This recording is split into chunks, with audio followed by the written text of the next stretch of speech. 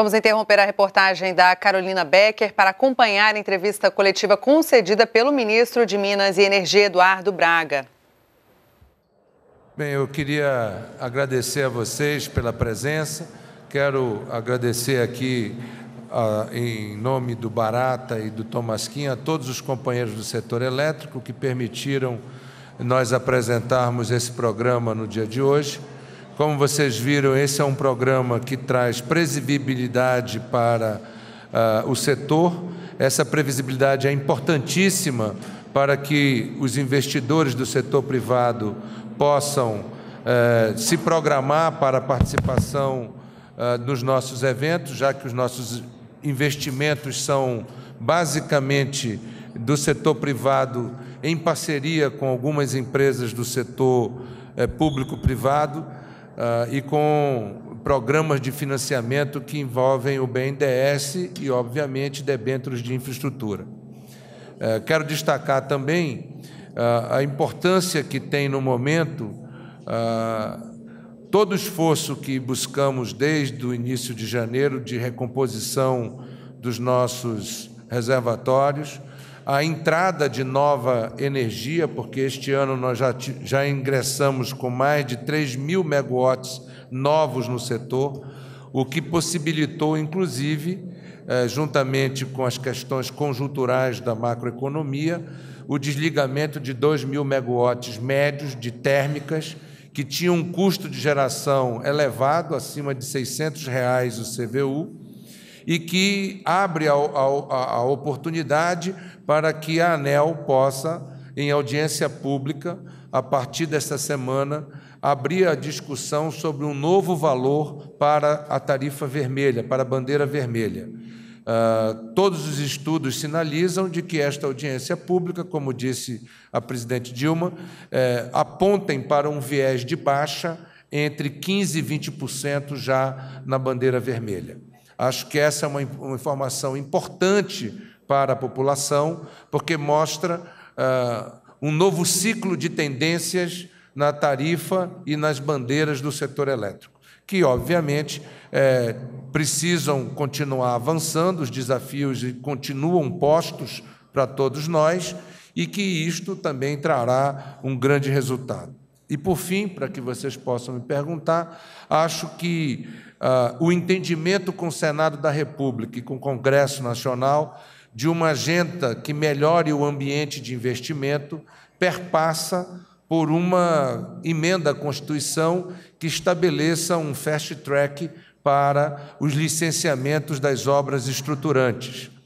Portanto, nós esperamos, nesse segundo semestre, poder ter um novo marco constitucional para que nós possamos acelerar ah, os nossos licenciamentos, não só ambientais, mas também com relação à FUNAI e com relação ao IFAM. Dito isso, nós nos colocamos aqui à disposição dos senhores para qualquer pergunta.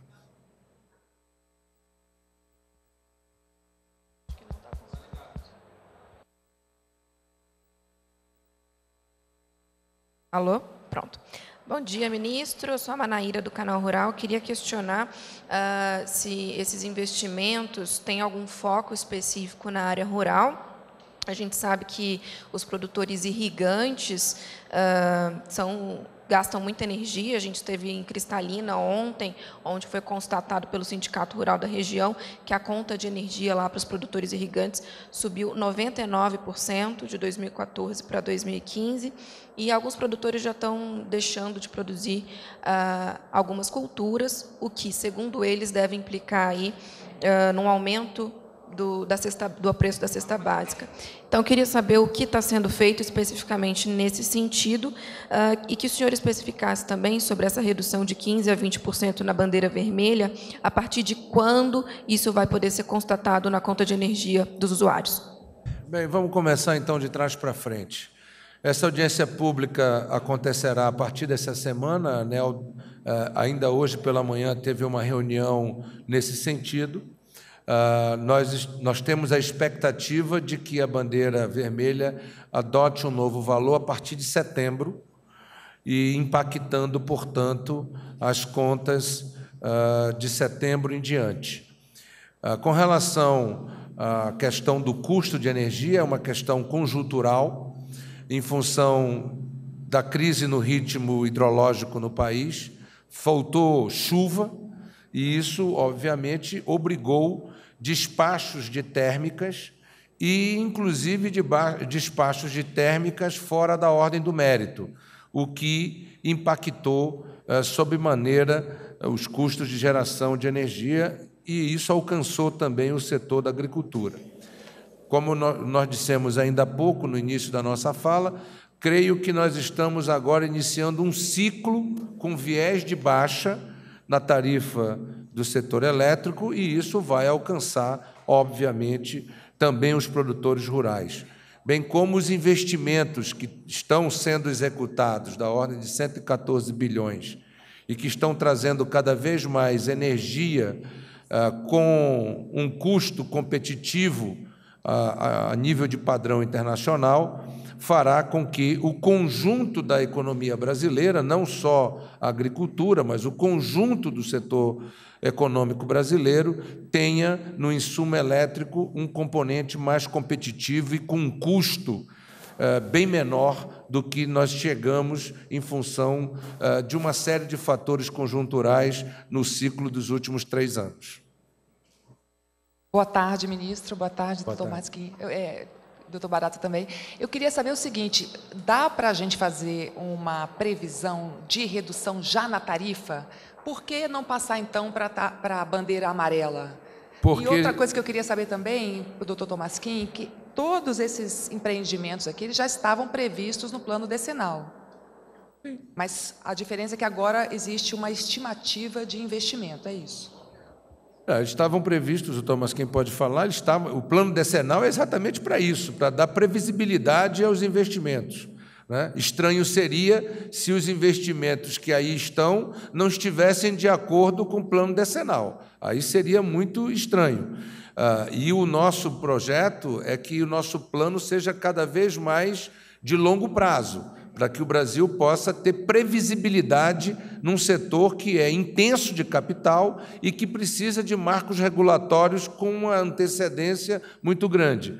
É, boa parte dos atrasos que nós tivemos de obras foi exatamente porque o nosso marco regulatório não previa o incremento de investimentos que aconteceram no setor elétrico. Isso teve um problema de, de, de gargalo, seja no licenciamento ambiental, seja nas questões fundiárias, seja nas questões com estados, municípios, uma série de problemas que foram é, se acumulando em função do grande esforço de investimento no setor.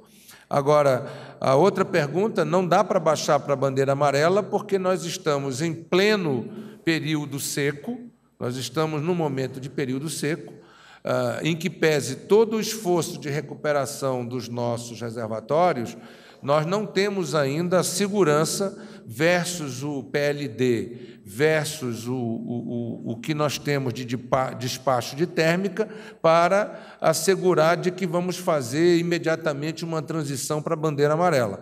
Isso não significa dizer, e o regime de bandeiras foi instituído exatamente por isso, de que, ah, quando vamos fazer uma nova análise, que é no início do período úmido, portanto, no final de outubro, começo de novembro, de que nós não possamos tomar uma nova decisão de que é, façamos a migração para a bandeira amarela. Neste momento, o que nós acreditamos ser absolutamente correto e conservador, mas e ao mesmo tempo seguro e correto com o consumidor, é de que, ao desligarmos 2 mil megawatts médio de térmicas cujo CVU era superior a 600 reais, de que esse consumidor não precisa carregar dentro da bandeira vermelha os custos que estava carregando quando os despachos desses 2 mil megawatts impactavam em quase mais 6 bilhões o, o custo de geração térmica. Portanto, a ANEL vai abrir audiências públicas para a gente poder testar isso, e, como disse a presidenta, nós temos uma expectativa de redução na tarifa vermelha, da bandeira vermelha, da ordem de 15% a 20%. Não, para o consumidor, o que pode acontecer é o seguinte: Vou dar só um exemplo. Hoje ela é 5,5. Ela pode reduzir para 5, ela pode reduzir para 4,5, eh, na nossa expectativa. Pode ser até que seja 4,5.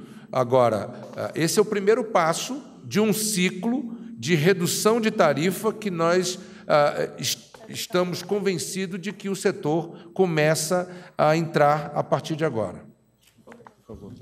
Ministro é, Eduardo Rodrigues. Só, só, uma complementação. Só uma complementação. Eu acho que o ministro falou bem, né? É claro que no governo tem que estar tudo concatenado. Né? Seria estranho ter um plano decenal que diz uma coisa e um plano de investimento que dissesse outra. Né? Agora, é só para dizer que tem novidades aqui também que não está no 23 e que está no 24 que não foi anunciado. Por exemplo, na transmissão, tem dois bipolos enormes de 2.500 quilômetros cada um, que não estão no plano que, que hoje está aí. Então, se forem olhar aqui na transmissão, tem muita novidade, quer dizer, não é, é, é, é o, não é um repeteco que já estava lá, tem muito investimento que ainda não tinha sido anunciado no, no Plano Nacional, que sairá em 2024, e que estão incluídos aqui. Então, é claro, está tudo concatenado com o plano de os planos decenais, tanto o 23 como o 24 que vai ser lançado, mas, vamos dizer, tem coisas novas é, é, é, aqui dentro, portanto, é, tem novidades. Ministro Eduardo Rodrigues, da Agência Estado Estadão, eu queria saber se o plano também pode incluir antecipação de leilões, que muitos empreendedores acham apertado o prazo de cinco anos, que às vezes é quatro anos e pouco. Se pode haver um leilão a menos seis, a menos sete, para ter o prazo para a construção dessas obras. No momento que nós temos de avaliação é que nós queremos que o A-5 seja efetivamente A-5. Ou seja, nós vamos fazê-lo em janeiro para que ele possa ter exatamente o período de cinco anos para execução. Ah, veja, a questão de sete anos, ou de oito anos, ou de mais anos, eu creio que é uma constatação um pouco em função desses, dessas questões, desses atrasos que aconteceram em função de uma série de questões. Licenciamentos, nem sempre só na questão ambiental, nós tivemos também questões uh, com IFAM e com FUNAI, com questões fundiárias, questões municipais estaduais que impactaram esses atrasos, e, e até mesmo problemas uh, com áreas uh, preservadas que nós tivemos que fazer mudanças, isso tudo criou uh, um, um volume de atrasos. Nós acreditamos que a melhoria do planejamento que nós estamos buscando a cada momento dentro do setor e, ao mesmo tempo, uma melhoria do ambiente regulador para a execução dessas obras fará com que uh, nós tenhamos, no horizonte dos próximos três anos, um, um novo prazo médio de execução. Portanto, são duas ações que estão acontecendo concomitantemente no setor. Uma, fazer com que o A-5 seja efetivamente A-5, que o A-3 seja efetivamente A-3, e que, ao mesmo tempo, nós tenhamos um ambiente de negócio com uma regulação mais favorável, e esse fast track vem nessa direção. Eu acho que essa é uma grande notícia para o investidor e para a economia brasileira. Nós estamos construindo um novo ambiente e um novo marco regulatório com relação a essas questões. De mora da Folha de São Paulo, é, em fevereiro houve um aumento do valor da bandeira vermelha e agora ele está sendo reduzido. A pergunta é se vocês não estão criando uma bandeira vermelha dentro da bandeira vermelha e isso não pode causar insegurança tanto para os consumidores como para os investidores, já que eles não sabem efetivamente quanto que vão pagar de bandeira vermelha, já que ela está mudando toda hora. Ao contrário, o espírito da bandeira é exatamente dar ao consumidor uma coisa que o ciclo de reajustes tarifários não o permite. Quando a gente faz o ciclo de reajuste tarifário, ele é anual.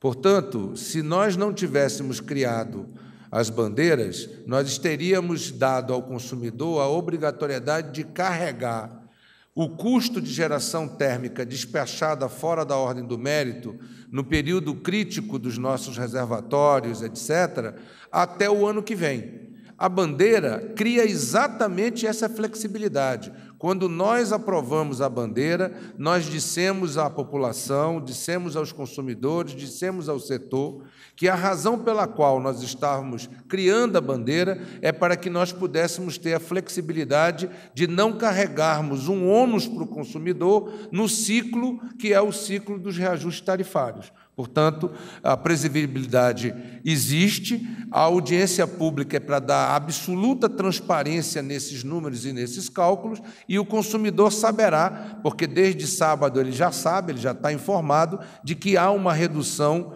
no custo de geração térmica uh, no país até o final do ano da ordem de 5,5 bilhões de reais. Portanto, a, a, o ajuste na, na, no valor da tarifa da bandeira vermelha é para que o consumidor não pague por algo que não está acontecendo. Não é justo que o consumidor continue sendo onerado por um custo de geração que não está acontecendo. A flexibilidade da bandeira traz exatamente isso. Alô, bom dia, Daniel, do Jornal Valor Econômico. É, um dado que me chamou bastante atenção no anúncio do plano é que, de toda a expansão do parque de geração, menos da metade, se não me engano, 11 mil megawatts, provém de novas hidrelétricas puras. Eu só vi, basicamente, de empreendimentos grandes na região amazônica, é, Tapajós e Jatobá. É, não me lembro também, doutor Tomasquim pode me corrigir, é, se no último plano decenal havia alguma outra previsão de novas usinas amazônicas. É, isso significa que o ciclo de novos grandes empreendimentos, mega empreendimentos na região, acabou? Essas são as últimas duas?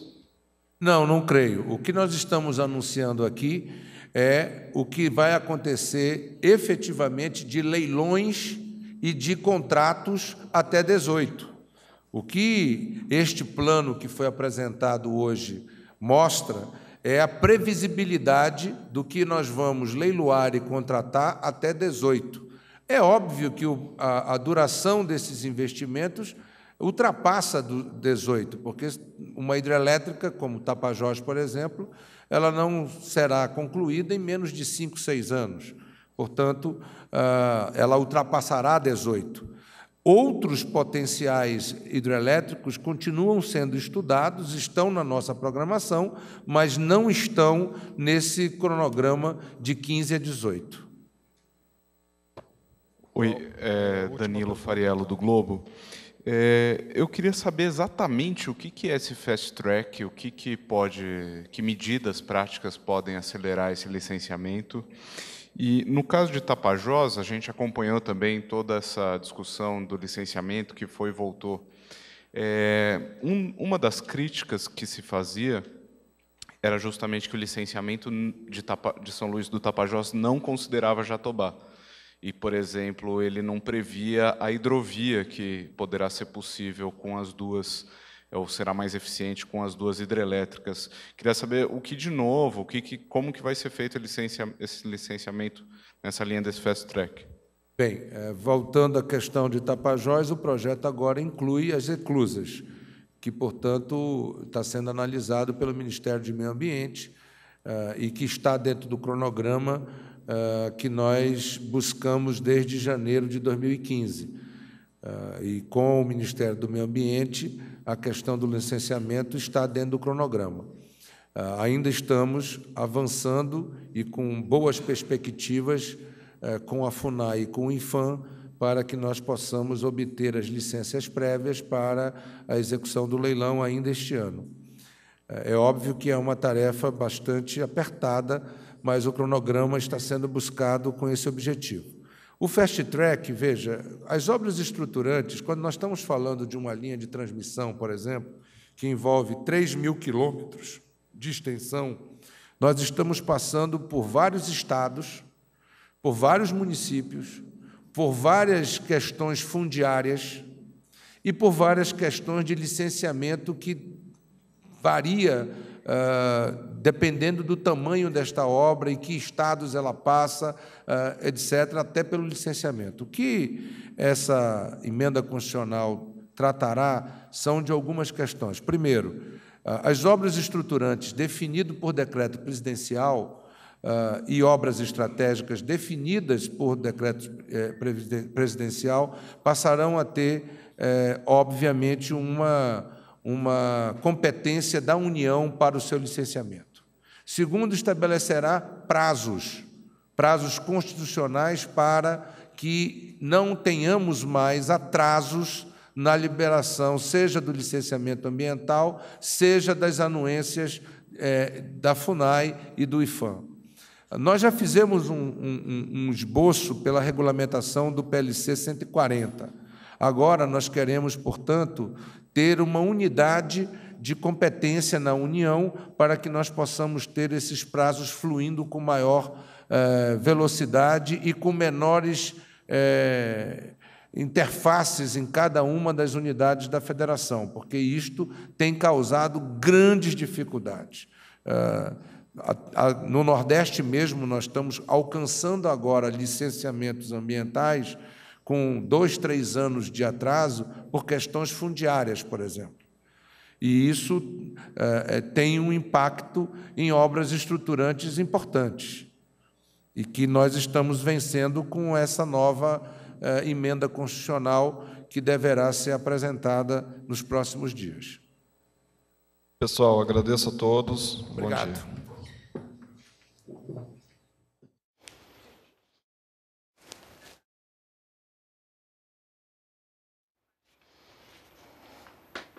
Você acompanhou ao vivo do Palácio do Planalto a entrevista coletiva concedida pelo ministro de Minas e Energia, Eduardo Braga.